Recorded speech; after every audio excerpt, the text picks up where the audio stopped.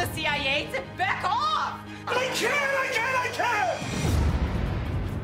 can't! Brody, what's going on? I'm being asked to be part of an attack on this country without knowing where or what or. I know it's been difficult. I'm through. Give me the keys.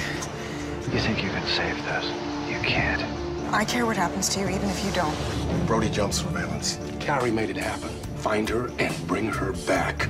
This deal of ours, I think it's a way out for both of us. I just want things to be the way they were. There is a fucking attack coming. Does anyone have visual?